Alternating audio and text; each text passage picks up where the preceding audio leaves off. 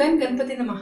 ಕನ್ನಡ ಭಕ್ತಿ ಚಾನೆಲ್ನ ಎಲ್ಲ ವೀಕ್ಷಕರಿಗೂ ಸುಮಾದೀಪಕ್ ನಮಸ್ಕಾರವನ್ನು ತಿಳಿಸುತ್ತಾ, ಹಾಗೆ ಹಿಂದೂ ಧರ್ಮದ ಸನಾತನ, ಸಂಸ್ಕೃತಿ, ಆಚಾರ, ವಿಚಾರಗಳ ಬಗ್ಗೆ ತಿಳಿದುಕೊಳ್ಳಬೇಕಾದ್ರೆ ನೀವು ಈ ಕೂಡ ನಮ್ಮ ಚಾನಲ್ ಸಬ್ಸ್ಕ್ರೈಬ್ ಮಾಡಿಕೊಳ್ಳಿ.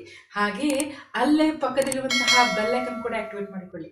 ವೀಕ್ಷಕರೇ, ಈ ಒಂದು ಶ್ರಾವಣ ಮಾಸ ಶ್ರಾವಣ ಮಾಸ ಅಂದ್ರೆ ಅತ್ಯದ್ಭುತವಾದಂತಹ ಹಾಗೂ ವಿಶೇಷಮಯವಾದಂತಹ ಒಂದು ಮಾಸ ಅಂತ ಹೇಳ್ಬೋದು.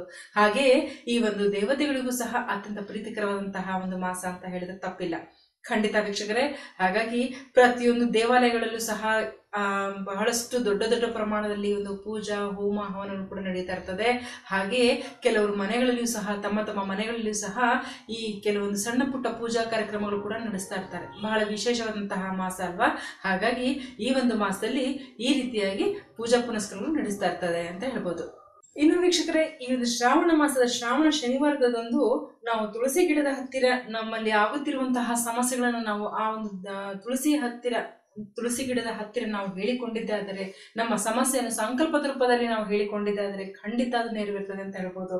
ಕಾರಣ ವೀಕ್ಷಕರೇ, ಈ ಒಂದು ತುಳಸಿ ಗಿಡ ತುಳಸಿ ಗಿಡ ಅಂದ್ರೆ ಏನು? ಅದು ಶ್ರೀ ಲಕ್ಷ್ಮೀ ದೇವಿಗೆ ಸಮಾನ. ಶ್ರೀ ಲಕ್ಷ್ಮೀ ದೇವಿ ಸಾಕ್ಷಾತ್ ಶ್ರೀ ಲಕ್ಷ್ಮೀ ದೇವಿ ಅಂತ ಹೇಳ್ಬೋದು. ಹಾಗಾಗಿ ಆ ಒಂದು ಮಾತಿಗೂ ಸಹ ನಾವು ಪ್ರತಿದಿನವೂ ಸಹ ನಾವು ಪೂಜಾ ಪುನಸ್ಕಾರ ಮಾಡ್ತೇವೆ. ಖಂಡಿತ.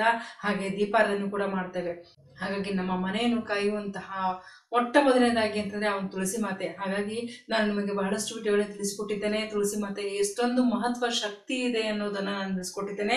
ಹಾಗೆ ವೀಕ್ಷಕರೇ, ಈ ಒಂದು ಶ್ರಾವಣ ಶನಿವಾರದ ದಿನದಂದು ನಾವು ತುಳಸಿ ಗಿಡದ ಹತ್ತಿರ ಈ ರೀತಿಯಾದಂತಹ ಒಂದು ನಾವು ಪರಿಹಾರ ಮಾಡಿಕೊಂಡ್ರೆ ಖಂಡಿತ ನಮ್ಮಲ್ಲಿ ಆಗುತ್ತಿರುವಂತಹ ಸಮಸ್ಯೆಗಳು ಯಾವುದೇ ಇರಲಿ, ಎಂಥದ್ದೇ ಇರಲಿ.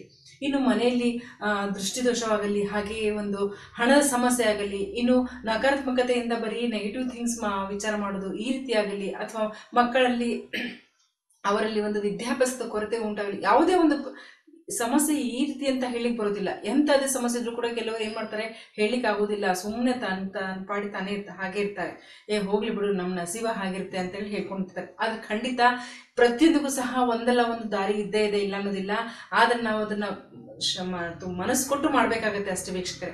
ಹಾಗಾಗಿ ಈ ಒಂದು ಸಮಸ್ಯೆಗಳು ಅಂದ್ರೆ ಎಂಥದೇ ಸಮಸ್ಯೆ ಇರಲಿ, ಈ ರೀತಿಯಾದಂತಹ ಸಮಸ್ಯೆಗಳನ್ನು ನಾವು ಬಹಳ ಬೇಗ ಅಂದ್ರೆ ಈ ಒಂದು ಶ್ರಾವಣ ಶನಿವಾರದ ದಿನದಂದು ನಾವು ತುಳಸಿ ಗಿಡದ ಹತ್ತಿರ ಈ ರೀತಿಯಾಗಿ ನಮ್ಮ ಸಮಸ್ಯೆಗಳನ್ನೆಲ್ಲವೂ ಕೂಡ ನಮ್ಮ ಸಂಕಲ್ಪದ ರೂಪದಲ್ಲಿ ಈ ಒಂದು ತುಳಸಿ ಮಾತೆಯ ಹತ್ತಿರ ಒಂದು ಮಂತ್ರವನ್ನು ಪಡಿಸಿಕೊಂಡು ಮಾಡಿದರೆ ಖಂಡಿತ ನಮಗೆ ಒಳ್ಳೆಯ ಫಲ ದೊರೆಯುತ್ತದೆ ಅದ್ಭುತವಾದಂತಹ ಪರಿಹಾರ ನಾವು ಮಾಡಬಹುದಾಗಿದೆ ಹಾಗಾಗಿ ವೀಕ್ಷಕರೇ, ಈ ಒಂದು ತುಳಸಿ ಗಿಡ ಅಂತಂದ್ರೂ ಕೂಡ ಏನು, ಅದು ಕೂಡ ಶ್ರೀ ಲಕ್ಷ್ಮೀ ದೇವಿಗೆ ಸಮಾನ ಅಂತ ಹೇಳಿದೆ. ಹಾಗಾಗಿ ನಮ್ಮ ಸಮಸ್ಯೆಗಳನ್ನು ಆ ಒಂದು ತಾಯಿಯ ಹತ್ತಿರ ನಾವು ಹೇಳಿಕೊಳ್ಳೋದ್ರಲ್ಲಿ ತಪ್ಪಿಲ್ಲ. ಯಾಕಂದ್ರೆ ನಮಗೆ ಆ ಒಂದು ತಾಯಿಯ ಅನುಗ್ರಹ ಬೇಕಾಗ್ತದೆ. ಇನ್ನು ವೀಕ್ಷಕರೇ, ಈ ಒಂದು ವೆಂಕಟೇಶ್ವರ ಸ್ವಾಮಿಯ ಅನುಗ್ರಹ ಅದು ಕೂಡ ಬೇಕಾಗ್ತದೆ ನಮಗೆ. ಯಾಕಂದ್ರೆ ಶನಿವಾರದ ದಿನ ಆ ಒಂದು ವೆಂಕಟೇಶ್ವರ ಸ್ವಾಮಿಗೆ ಶನಿವಾರ ಬಹಳ ಪ್ರಿಯಕರವಾದಂತಹ ದಿನ. ಅದರಲ್ಲೂ ಸಹ ಈ ಒಂದು ಶ್ರಾವಣ ಮಾಸದ ಶನಿವಾರ ಅತ್ಯದ್ಭುತವಾದಂತಹ ವಾರ ಆಗಿರ್ತದೆ ಆ ಒಂದು ವೆಂಕಟೇಶ್ವರ ಸ್ವಾಮಿಗೆ. ಹಾಗಾಗಿ ಇನ್ನು ವೀಕ್ಷಕರೇ, ಈ ಒಂದು ತುಳಸಿ, ಮನೆಯ ಮುಂದೆ ತುಳಸಿ ಕೂಡ ಎಲ್ಲರ ಮನೆಯಲ್ಲೂ ಸಹ ಇರ್ತದೆ, ಇಲ್ಲ ಅನ್ನೋದಿಲ್ಲ. ಆ ಒಂದು ಶನಿವಾರದ ದಿನದಂದು ನೀವು ಬೆಳಿಗ್ಗೆ ಸಮಯದಲ್ಲಿ ನಿಮ್ಮ ಮನೆಯಲ್ಲಿರುವಂತಹ ಮ- ಪೂಜಾ ಮಂದಿರದಲ್ಲಿ, ಅಂದ್ರೆ ನಿಮ್ಮ ದೇವರ ಕೋಣೆಯಲ್ಲಿ ಅಲ್ಲಿ ಪೂಜಾ ಪುನಸ್ಕರಣೆಲ್ಲ ಮುಗಿಸಿಕೊಂಡು ನಂತರ ಅದೇ ದಿನದ ಸಾಯಂಕಾಲ, ಶನಿವಾರದ ಸಾಯಂಕಾಲ ದಿನದ ಸಮಯದಲ್ಲಿ ಸುಮಾರು ಐದರಿಂದ ಆರರ ಒಳಗೆ ಅಲ್ಲಿ ಒಂದು ತುಳಸಿ ಗಿಡದ ಹತ್ತಿರ, ಅದರ ಮುಂಭಾಗದಲ್ಲಿ ಒಂದು ಕುಬೇರ ರಂಗೋಲಿ ಅಥವಾ ಪದ್ಮ ರಂಗೋಲಿನ ಹಾಕಿಕೊಳ್ಳಿ. ಹಾಗೆಯೇ ಅಲ್ಲಿ ಒಂದು ದೀಪಾರಾಧನೆ ಮಾಡಿ ವೀಕ್ಷಕರೇ. ಅಲ್ಲಿ ದೀಪಾರಾಧನೆ ಮಾಡಿ ಹಾಗೂ ಈ ಒಂದು ಮಂತ್ರವನ್ನು ಪಠಣೆ ಮಾಡಿ. ಖಂಡಿತ ಬಹಳ ಒಳ್ಳೆಯದು. ಆ ಮಂತ್ರವನ್ನು ನಾನು ನಿಮಗೆ ತಿಳಿಸ್ಕೊಡ್ತೇನೆ. ಆ ಮಂತ್ರ ಯಾವುದು ಅಂತಂದ್ರೆ ಜಗದ್ದಾತ್ರಿ ನಮಸ್ತುಭ್ಯಂ ವಿಷ್ಣುಶ್ಚ ಪ್ರಿಯವಲ್ಲವೇ ಯಥೋ ಬ್ರಹ್ಮದೇ ದಯೋ ಸೃಷ್ಟಿ ಸ್ಥಿತ್ಯಾತ್ಯ ಕಾರಣಂ. ಇನ್ನುವಂತಹ ಈ ಒಂದು ಮಂತ್ರ ಈ ಒಂದು ಮಂತ್ರ ಇನ್ನೊಂದ್ಸಲ ನಾನು ನಿಮಗೆ ಪಠಣೆ ಮಾಡಿ ತೋರಿಸ್ತೇನೆ. ಜಗದ್ದಾತ್ರಿ ನಮಸ್ತುಭ್ಯಂ, ವಿಷ್ಣು ಚ ಪ್ರಿಯವಲ್ಲವೇ ಯಥೋ ಬ್ರಹ್ಮದೇ ದೇವ, ಸೃಷ್ಟಿ ಸ್ಥಿತ್ಯರ್ಥ ಕಾರಣ.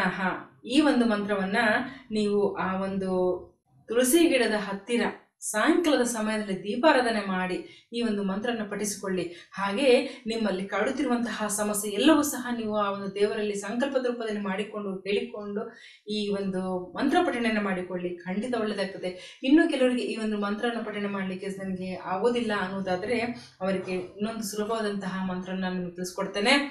ಆ ಒಂದು ಮಂತ್ರ ಅಂತಂದ್ರೆ ಪ್ರತಿಯೊಬ್ಬರು ಸಹ ಮಾಡಬಹುದಾಗಿದೆ. ಆ ಒಂದು ಮಂತ್ರ ಓಂ ವಿಷ್ಣು ಪ್ರಿಯಾಯೇ ನಮಃ ಎನ್ನುವಂತಹ ಮಂತ್ರ. ಅಂದ್ರೆ ವಿಷ್ಣು ಪ್ರಿಯಾಯೇ ಅಂತಂದ್ರೆ ಶ್ರೀ ಲಕ್ಷ್ಮೀ ದೇವಿಗೆ ಆ, ಹೋಗ್ತದೆ ಅಲ್ವಾ ಎಲ್ಲ ಒಂದು ಪೂಜಾ ಪುನಸ್ಕಾರ ನಾವು ಏನ್ ಮಾಡಿದ್ರು ಕೂಡ ವಿಷ್ಣು ಪ್ರಿಯ, ವಿಷ್ಣುವಿನ ಪ್ರಿಯ ಯಾರು? ಶ್ರೀ ಲಕ್ಷ್ಮಿ.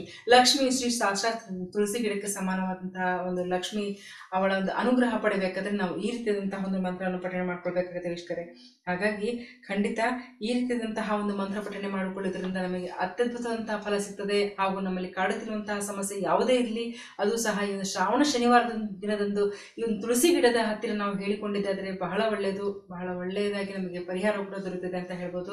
ಹಾಗೆ ನಮ್ಮಲ್ಲಿ ಕಾಡುತ್ತಿರುವಂತಹ ಸಮಸ್ಯೆ ಕೂಡ ನಿವಾರಣೆ ಆಗ್ತದೆ ಅಂತ ಹೇಳ್ಬೋದು. ಇನ್ನು ವೀಕ್ಷಕರೇ, ನೀವು ಗಮನಿಸಿರಬಹುದು ಪ್ರತಿಯೊಂದು ಶ್ರೀ ವೆಂಕಟೇಶ್ವರ ದೇವಾಲಯದ ಮುಂಭಾಗದಲ್ಲಿ ಶ್ರೀ ತುಳಸಿ ಗಿಡ, ಅದು ಶ್ರೀ ಲಕ್ಷ್ಮೀ ಮಾತೆಯ ಸಮಾನವಾಗಿರುವಂತಹ ಶ್ರೀ ತುಳಸಿ ಗಿಡ, ಶ್ರೀ ಲಕ್ಷ್ಮೀ ದೇವಿ, ತುಳಸಿ ತುಳಸಿ ಮಾತೆಯ ಒಂದು ಗಿಡವನ್ನ ಅಲ್ಲಿ ಹಾಕಿರ್ತಾರೆ. ನೆಟ್ಟಿರ್ತಾರೆ ಒಂದು ಗಿಡ ಅಲ್ಲಿ ಸ್ಥಾಪನೆ ಆಗಿರ್ತದೆ. ಹಾಗಾಗಿ ಆ ಒಂದು ವಿಷ್ಣುವಿನ ಆಲಯದಲ್ಲಿ ಎದುರು ಭಾಗದಲ್ಲಿ ಇರುವಂತಹದ್ದು ತುಳಸಿ ಗಿಡ.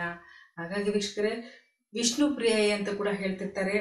ಅದಕ್ಕೋಸ್ಕರ ನಾವು ನಮ್ಮಲ್ಲಿ ಕಾಡುತ್ತಿರುವಂತಹ ಸಮಸ್ಯೆ ಯಾವುದೇ ಇರಲಿ ಎಂಥದೇ ಇರಲಿ, ಈ ಒಂದು ಶ್ರಾವಣ ಶನಿವಾರದ ದಿನದಂದು ಈ ರೀತಿಯಾದಂತಹ ಒಂದು ಸಮಯದಲ್ಲಿ ನಾವು ಮಾಡಿಕೊಂಡಿದ್ದಾದರೆ, ಆ ಒಂದು ತುಳಸಿ ಗಿಡಕ್ಕೆ ದೀಪಾರಾಧನೆ ಮಾಡಿ ಈ ರೀತಿಯಾಗಿ ನಾವು ಮಂತ್ರ ಪಠಣೆ ಮಾಡಿಕೊಂಡು ನಮ್ಮಲ್ಲಿ ಕಾಡ್ತಿರೋ ಸಮಸ್ಯೆನ ನಾವು ನಿವಾರಣೆ ಮಾಡ್ಕೊಳ್ಳೋಣ ಎಂದು ಹೇಳುತ್ತಾ, ಹೀಗೆ ಇನ್ನು ಅನೇಕ ವಿಚಾರ ತಿಳಿದುಕೊಳ್ಳಬೇಕಾದ್ರೆ ನೀವು ನಮ್ಮ ಚಾನಲ್ ಸಬ್ಸ್ಕ್ರೈಬ್ ಮಾಡಿಕೊಳ್ಳಿ, ಹಾಗೆ ಅಲ್ಲೇ ಪಕ್ಕದಲ್ಲಿರುವಂತಹ ಬೆಲ್ ಐಕನ್ ಕೂಡ ಆಕ್ಟಿವೇಟ್ ಮಾಡಿಕೊಳ್ಳಿ.